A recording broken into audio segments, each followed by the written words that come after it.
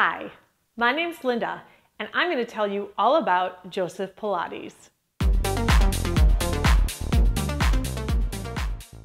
Hi, my name's Linda Magid. I am the owner and instructor of Pilates for Real Bodies, an online mat Pilates studio. And I'm going to tell you all about Joseph Pilates, as well as how he created the Pilates method and how it became so popular. The first thing you need to know is that not a lot is known about Joseph Pilates. He intentionally made sure that his backstory was kept hidden from people and that they only knew the things that he himself told them. It wasn't until this book, written by John Howard Steel, this was written last year, 2020, I believe it came out. It wasn't until this was written that we really have any definitive information about Pilates and his background. If you have read anything about him being a Holocaust survivor, none of that is true. He actually was in the United States before World War II ever happened. But I digress. If you don't want to read the entire book, then I am giving you the too long, didn't read version. And then if you want more, of course, you can purchase the book. And I have a link uh, in my bio for that. So Joseph Pilates was born in 1884. He was born to a working class family. He'd always been interested in physical fitness and as an adult did his best to work in that area. So he was a boxer. He also worked for a circus, but unfortunately for him, his uh, work as a fitness professional never really got off the ground. He was married and had a child with his wife. They, uh, he also adopted his wife's child from her first marriage, but then in 1913, Mary died.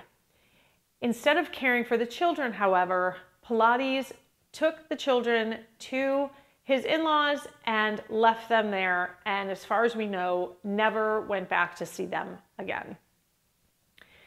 He was also arrested in this year for being on a German Navy vessel that was dropping mines on the Thames River.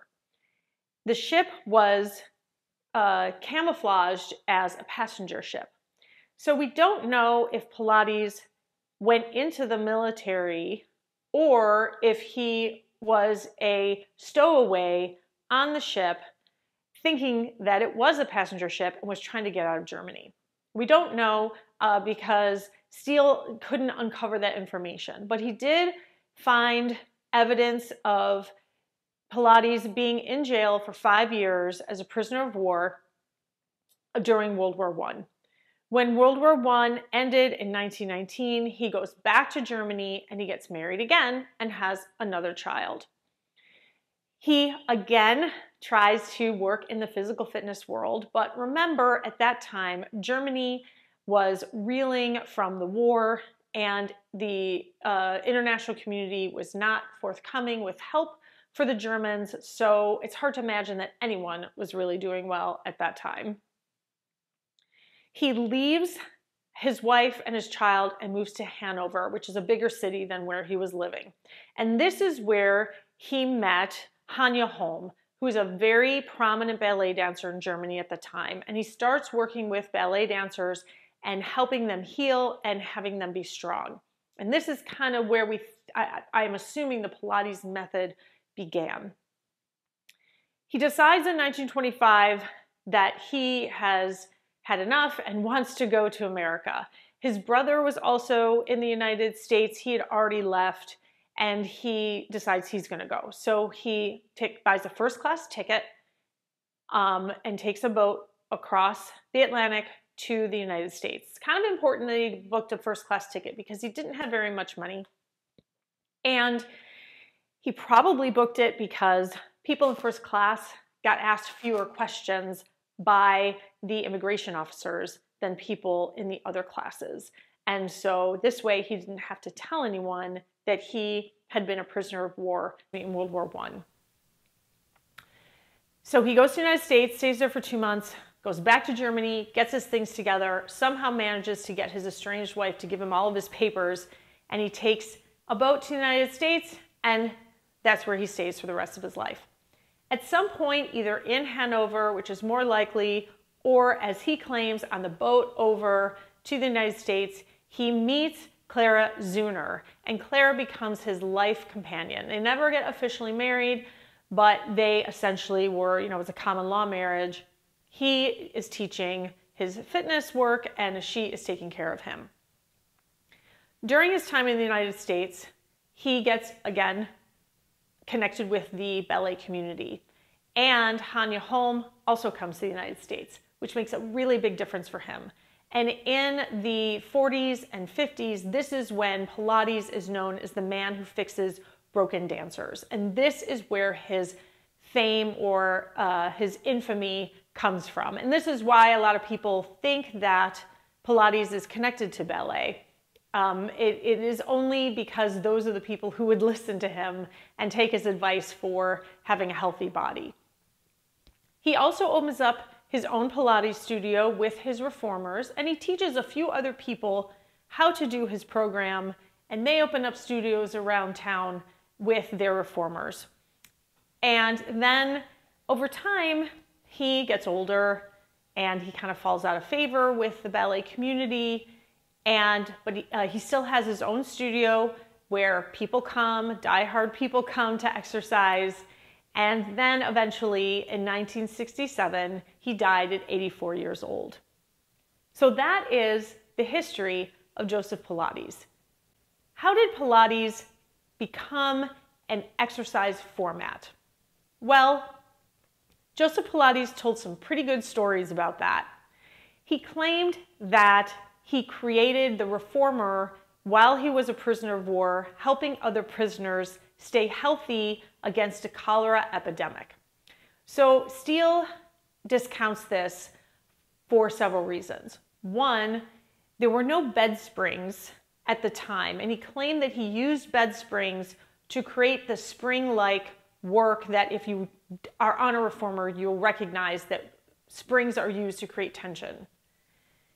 He claims that he used the springs to create tension to get people strong. Unfortunately, we know this isn't true because there were no bed springs used at that time in the 19 teens on beds and certainly not on prisoner of war beds. They were mattresses with a wood on a wood stand and that was it. The other piece of evidence is that there's no there was no cholera outbreak at that prison that Steel could find. It wasn't noted anywhere. The other thing that Pilates said was that he read a lot of anatomy books when he was a child. Steel notes that this is probably unlikely because those books were very expensive and would not have been accessible to him even in a library, and certainly not ones that he could have purchased for himself because they were out of reach for a working class family who had nothing to do with the medical community. And Steel notes that when he worked with people, he never used anatomical language. So it's unlikely that that is true. What's more likely, while there isn't written evidence for this, is that while Pilates was in prison and he had a very small space to work in, he taught himself how to exercise. And if you've ever done mat Pilates, you realize it's done in a very small space. Basically, your mat. And so he probably taught himself those exercises while he was also thinking of exercise pieces like the reformer or the Wunda Chair that he could create when he got out of prison. There's no doubt that he was a brilliant mind with exercise. It just probably didn't happen the way that he said. And then while working with dancers and having the freedom to create and tinker, he created the reformer and then built his studio. So that's probably more likely the story of how it happened. Why did Pilates want his history to be a secret? Well, he probably didn't want people to know that he left three children behind in Germany without any kind of financial support. And he probably didn't want people to know that he'd been a prisoner of war in World War I. Even if he had innocently been on that boat, he still was held as a prisoner. And given that Germany had started a war both in the early 1900s and then again in the 1940s, he was not going to be sharing that information openly. So now, how did Pilates become a worldwide phenomenon? Especially since when Pilates died, he had a small, decrepit studio in New York that most people didn't even know existed. Well, when he died, Clara was not a business manager and she had no interest or really even ability to run the studio. So, a group of people who loved Pilates and didn't want to stop decided to try to find someone to run the studio. None of the other Pilates instructors were interested. So these group of people, they decided to do it themselves. Now, none of them were doing it full time. And after two years, they decided they really hated it and they were not interested in running the studio anymore. So they worked hard again at finding someone who would be able to and be willing to pick up the Pilates mantle. And they found Romana Kryzanowska. And she, in 1972, became the Pilates instructor in New York. Again, there were still people doing it, but they were doing it in a much smaller level.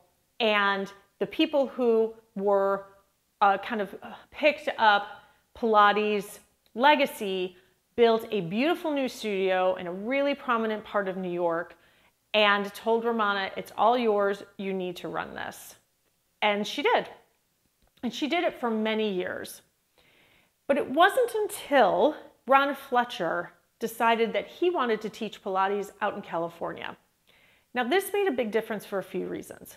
First, Ron Fletcher worked with celebrities. And whenever a celebrity does something, everybody else wants to do it. So that's one reason it became popular. Another reason is that Ron was very charismatic and people were drawn to him. So he had more and more people coming to him taking his classes. And people could see that they could themselves learn how to teach Pilates and then have a successful Pilates studio themselves because they weren't really happening anywhere else outside of New York. And because of that, Ron started to teach other people to teach Pilates, and it grew and grew. And with that growth also came the need for the Pilates equipment, like the reformer. And it just became bigger and bigger. At some point, a guy who had no connection with Pilates saw this opportunity to license the name, meaning that he and Romana would own the word Pilates and own the rights to all of the equipment that, that is associated with Pilates. Thankfully, uh, that was taken to court, that idea and that plan was taken to court, and he and Romana lost. And that is why so many people today can teach Pilates and why it is so different. You could go to a Pilates class every day of the week and have seven completely different experiences in Pilates which I think really makes it a richer experience. So I hope you got a lot of information out of this video and that it was helpful for you to learn about Joseph Pilates and his history. Please subscribe to my channel and watch another video. Have an amazing day.